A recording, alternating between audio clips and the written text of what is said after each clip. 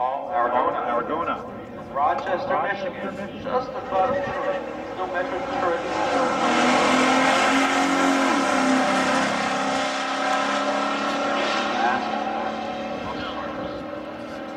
Three ninety degrees. They turn to twelve eighty seven, one oh six miles per hour.